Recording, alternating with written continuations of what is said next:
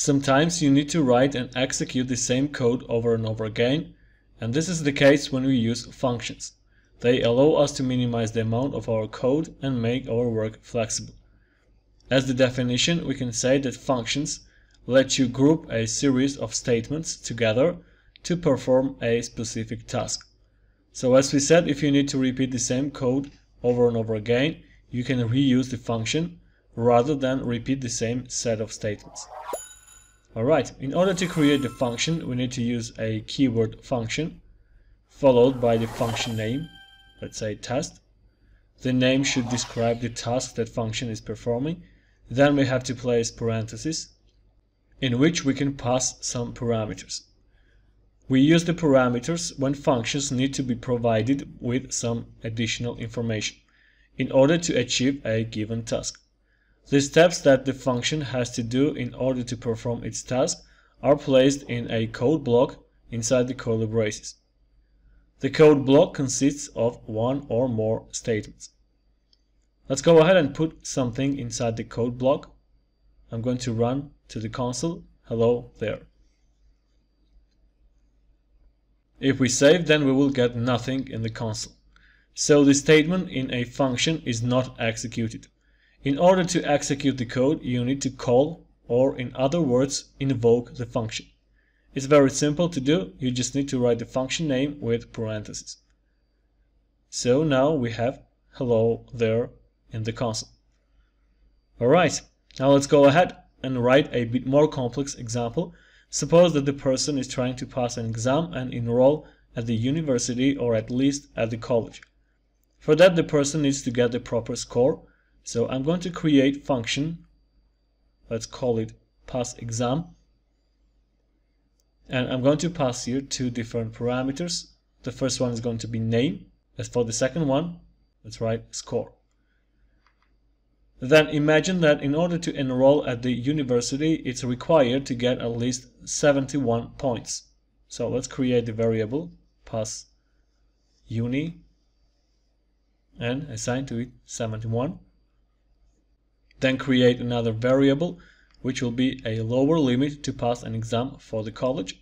So let's call the variable pass call and make it 51. Okay, now we're going to use if statement. At first, let's go ahead and check if the person could enroll at the university. So write if with the condition score is greater than or equal to pass uni. And then run to the console. Name plus enrolled at the university with then plus score and plus points. So if this condition is false, which means that he or she has got a lower score than the limit of the university, then we need to use else if statement, which will check if a person could enroll at the college. So let's use else if statement with the following condition, score is greater than or equal to pass call then run to the console. Some text. Actually I'm going to grab this text from here and just change university into college alright the next possible case is fail for that I'm going to use else statement let's run to the console name plus failed Alright, so the function is ready, but as we said, in order to execute the code, we need to call it. So I'm going to write the name of the function, pass exam, and pass here the relevant arguments. I'm going to write Nick as the name and the score 85. So as you can see, Nick enrolled at the university with 85 points. That's the power of functions for every next student, you don't need to write this code again. You just need to call the function over and over again and just change the arguments. For example, let's call pass exam and pass here Mary 75 and then call again the function with the arguments John and 45. So we have here the proper results. Mary enrolled at the university with 75 points and John failed. Alright, you may notice that sometimes I said parameters and then arguments. Let me explain what is the difference between them. When the function was declared, you saw the name and score. They act in the same way as the variables do, so they are called parameters. But when the function was called, we specified real names and the scores, and these values are called arguments. Make sense? Okay, suppose that the score consists of quiz score and essay score points. We can create a function which will calculate the total score.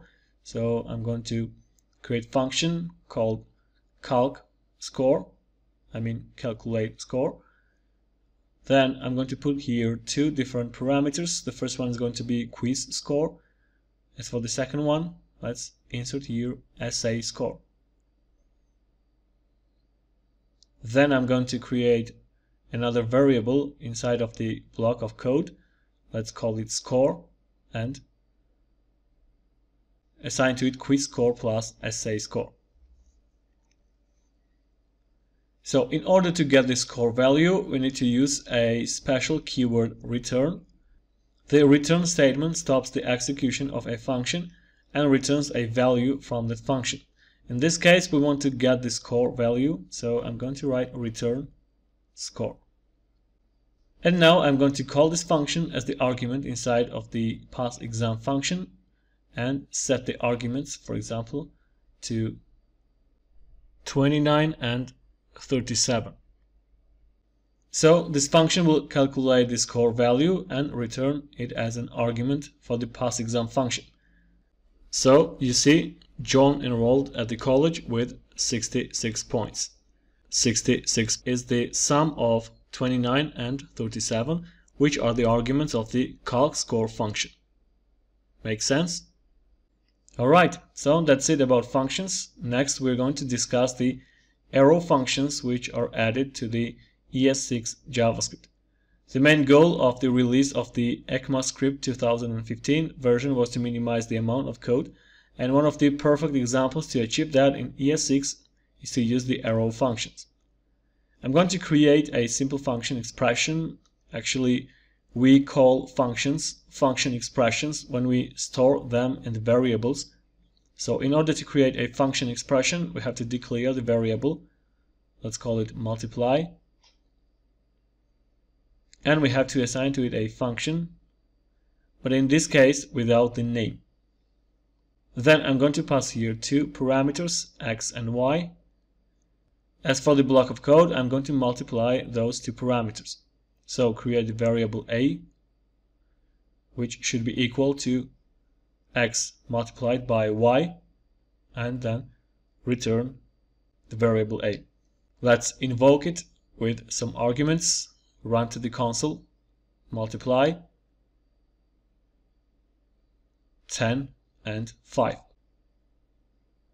As you see, this function expression doesn't contain lots of characters and it is very easy to read, but thanks to arrow functions in ES6, we can write this function in a more concise way.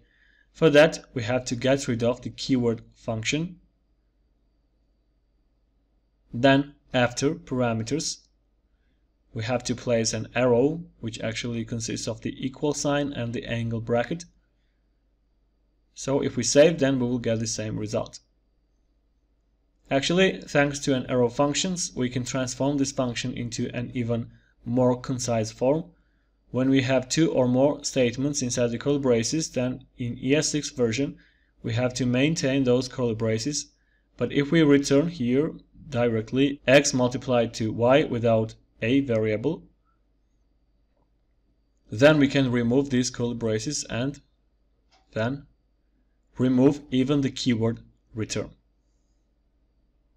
Now we can say that this is the really short and the concise transformation of a function expression. This is a really great feature, but on the other hand, it is a little bit hard to read the code, especially when you're first introduced to this feature, but I think that after some practice it won't be a problem. In this case we have two parameters here and that's why we surround them with parentheses, But in case of one parameter, let's suppose we have only the x, which is multiplied by 10, then we no longer need to use those parentheses. We can just simply write x, and you see that it works fine. So again, when we use only one parameter, we can write it without parentheses. Alright, let's see what happens if we don't have parameters. Let's delete x and then write 10 multiplied by 10 and also remove those arguments. You can see that we have here the syntax error. The JavaScript engine cannot recognize what this arrow is doing here. So when we use function expressions and we don't have parameters, then we have to place here empty parentheses. So you see that it works fine. Alright, so this was all about arrow functions. Now it's time to move on to the next topic, which is arrays in JavaScript. The array is a special type of data.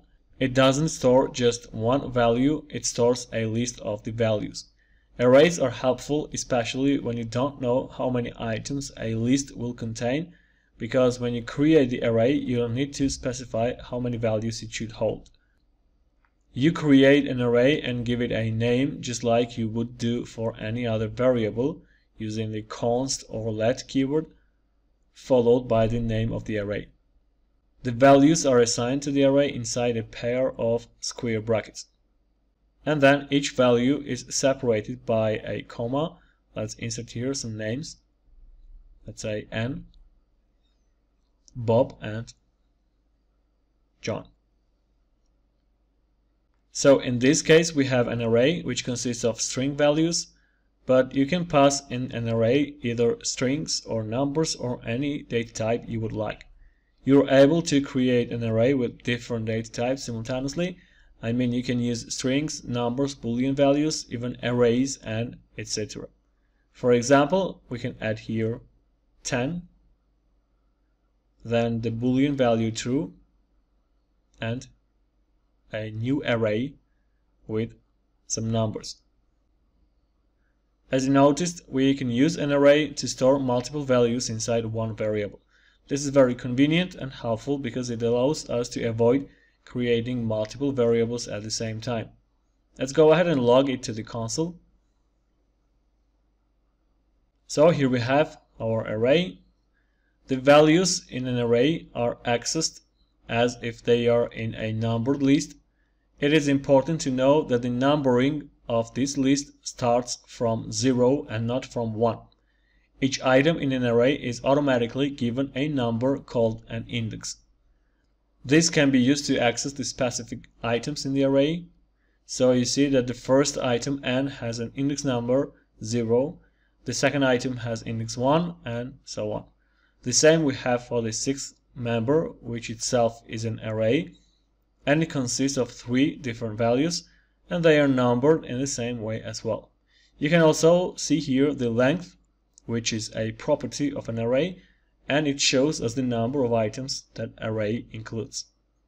In order to access the specific item of an array, we can do it using the index. So if you need to access, for example, the first item n, you need to write the name of the array, and in the square brackets, the index number of the item, in this case 0. So we have n in the console, in the same way you can access the other items. If we change 0 into 1, we'll get the second item. So in order to get access to the item of the array that is placed inside the main array, at first we need to get access to the main array itself. So now we have access to the sixth item of the main array. But in order to access to the specific item of that inner array, we need to open again square brackets and write the index of the specific item. So you see 2, which is the second item of the second array. Alright, in JavaScript we have several built-in functions which we can use with arrays. Those functions are called array methods. Before we demonstrate some of those methods, I'm going to show you one thing. Let's go ahead and create new array, call it colors, and then put here a couple of colors. Let's say white, black, and red. In general, we can change any of the values inside the array. For example, if we want to change the value of the second item, which is black, we can simply access to that item and assign to it a new value, let's say green.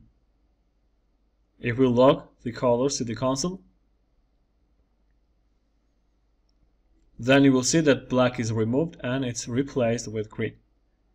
Okay, let's go ahead and talk about some of the array methods. Suppose that we want to add a new item to the array. In this case, we can use a method called a push. This method adds a new element at the end of the array.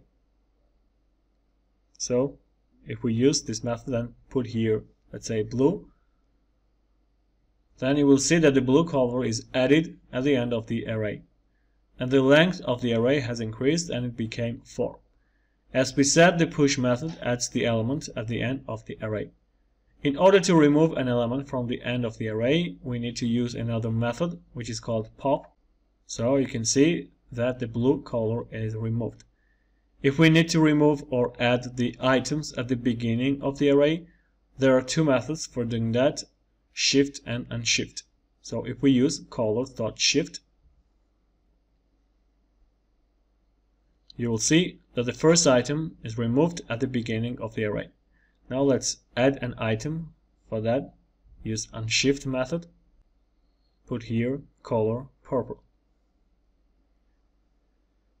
So we have purple at the beginning of the array. Alright, the next and the last method that we are going to demonstrate is index of. It's very useful and also it's frequently used. This method searches the array for the specified item and returns its index number. So if we want to get the index number of the red color in the array, we need to write colors.index of and then we have to pass here red. Now we got 2 because the index number of the red color is 2.